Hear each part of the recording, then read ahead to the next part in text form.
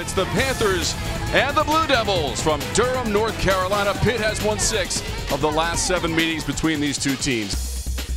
Go against Darrelle Revis. Won a Super Bowl ring in the NFL with the Patriots. And here's Darrin Hall breaking free into new territory. Dashing for the end zone, and Hall scores. The Panthers pop the big play. In this area out here at the top.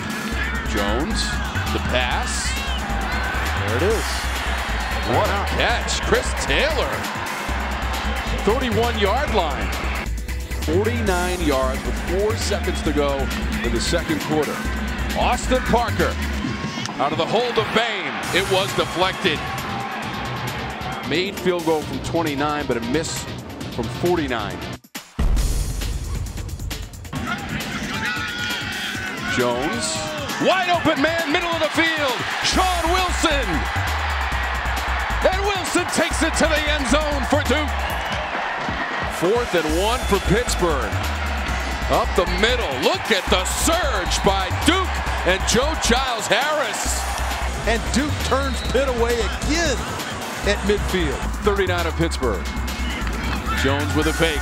Now going deep. Rahming running under it. Makes the catch.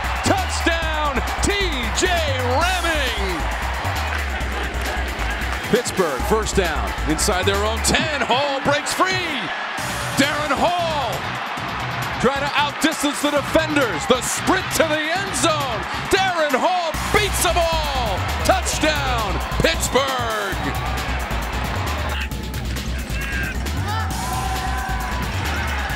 DiNucci.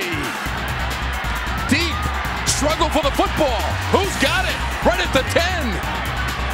It's Gilbert and Weah fighting for it, and they award the football to Pittsburgh.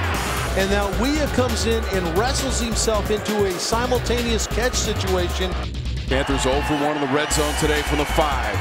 Hall makes a move to his right, and he steps right in the end zone. Third rushing touchdown of the game, Darrin Hall. This one from four yards out. DiNucci on third and six.